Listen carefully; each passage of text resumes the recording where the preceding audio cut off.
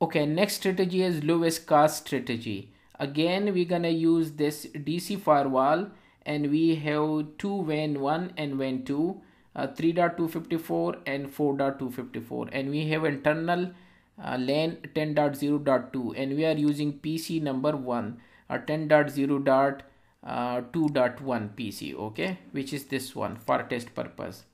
10.0.2.1 okay?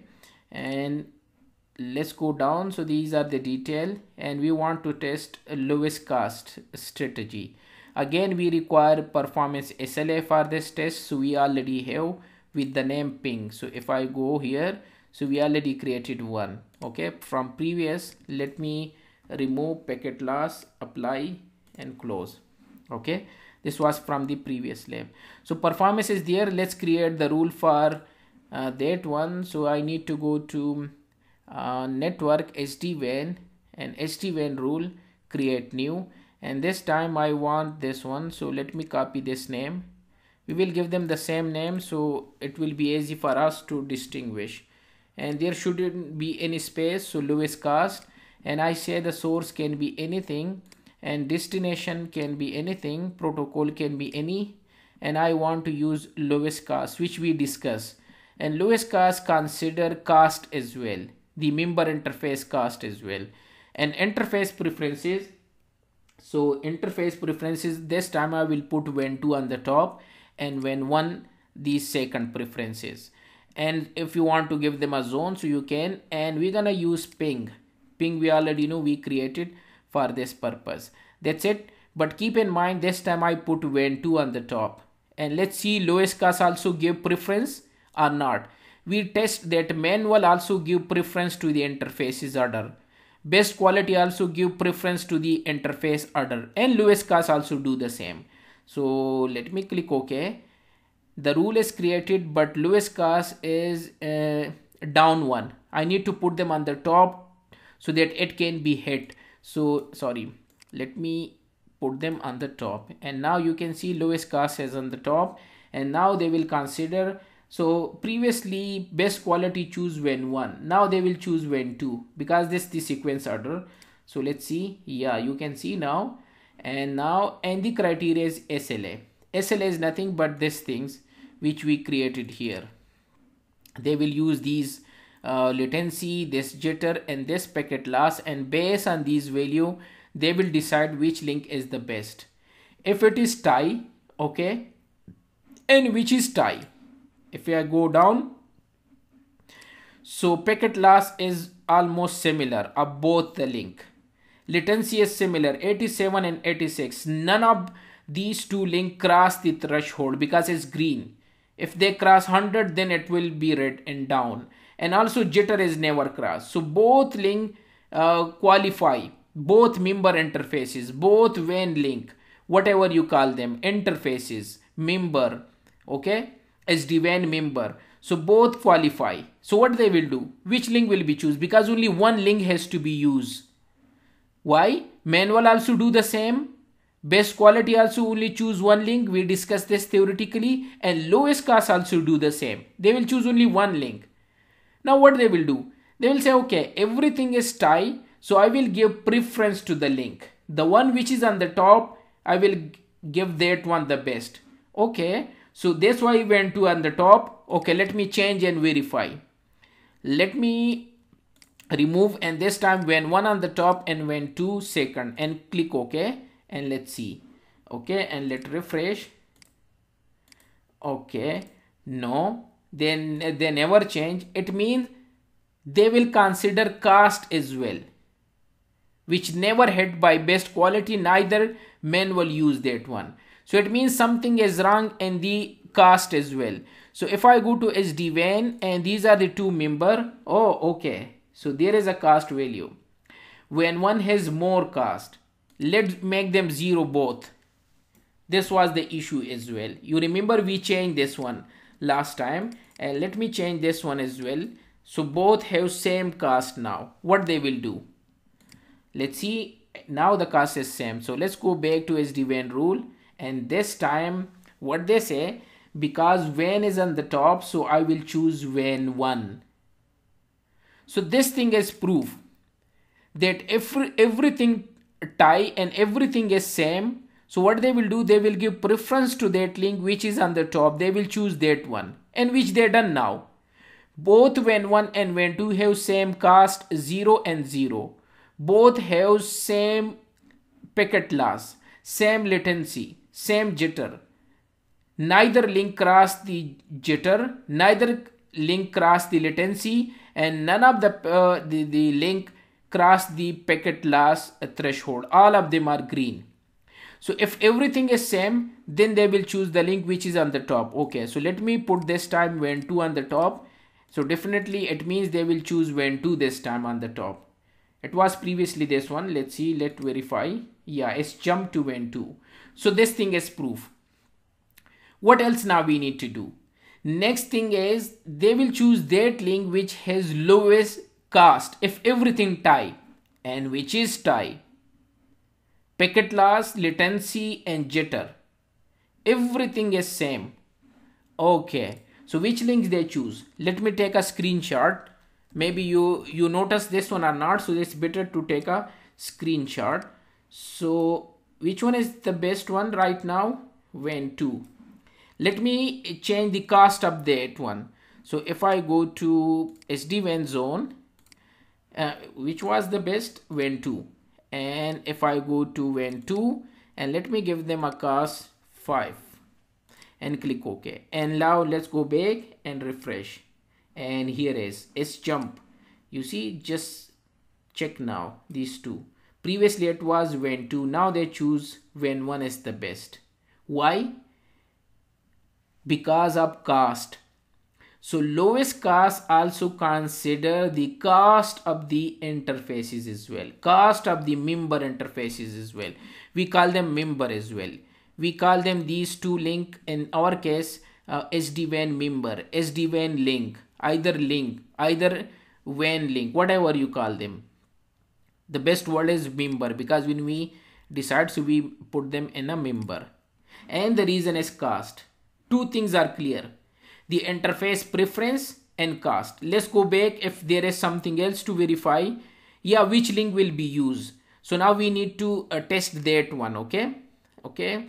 And also if you want to verify so we can verify through CLI as well but this time our rule name is 4 so I need to go to CLI and paste this command. Diagnose system SD-WAN service but 4 this time they say that uh, whereas they say uh, port number one will be used because this is on the top.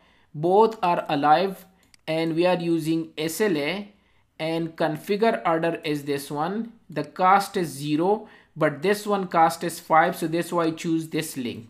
Okay?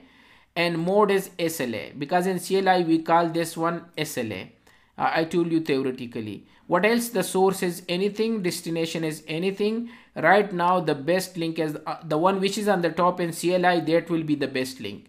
Okay? And that one is the best link. Okay? What else? Yeah.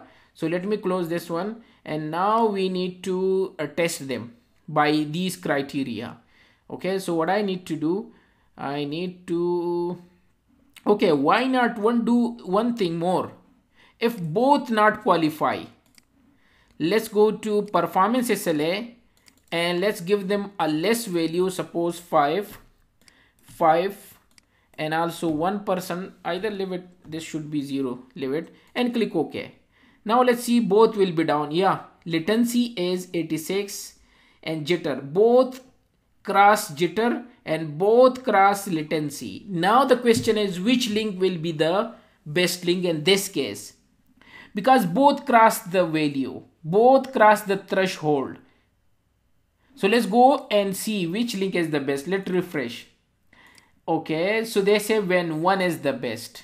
Why? Because of lowest cost. so let me remove that one as well you see the cost is 0 WAN 1 and this one is 5 so let me make this one 0 because this point is clear to you.